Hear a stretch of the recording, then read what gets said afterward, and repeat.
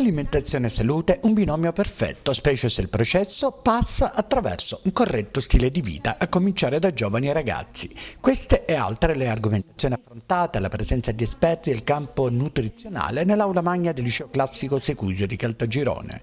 Attraverso un'alimentazione corretta si evitano le malattie del futuro, fra cui obesità, malattie metaboliche e cardiache. Questa la tesi del professor Maurizio Di Mauro, medico e responsabile del centro diabetologico oncologico del Policlinico Vittorio Emanuele di Catania. È importante pertanto intervenire attraverso delle alimentazioni corrette e ricche di cibi sani eh, attraverso eh, cibi ben assorbibili come il glucosio, utilizzando grassi eh, polinsaturi come per esempio l'olio extravergine di oliva e utilizzando delle proteine di carattere vegetale. Un altro aspetto importante invece è legato ad una corretta attività fisica sempre meno attività fisica in relazione alla inattività fisica legata alla sedentarietà, all'utilizzo dei computer, all'utilizzo di eh, giochini, playstation, telefonini, smartphone che eh, sempre riducono il movimento soprattutto nei giovani. Obiettivi prioritari della conferenza che ha avuto come tema Insieme per la salute, stili di vita e alimentazione sono quelli di trasmettere alle nuove generazioni anche i principi della cultura d'impresa.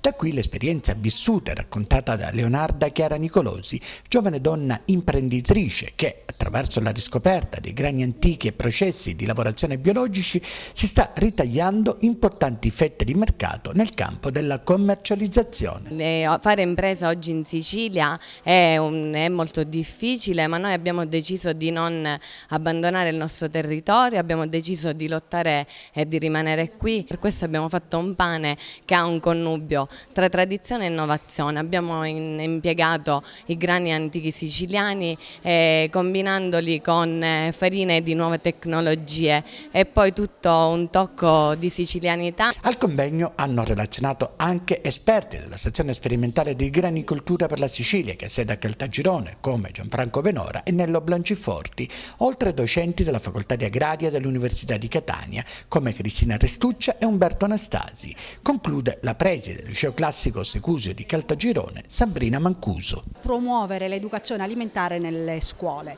Il Ministero dell'Istruzione nel 2015 ha elaborato delle linee guida per l'educazione alimentare proprio per raccogliere l'eredità culturale e educativa dell'Expo stata organizzata realizzata a Milano.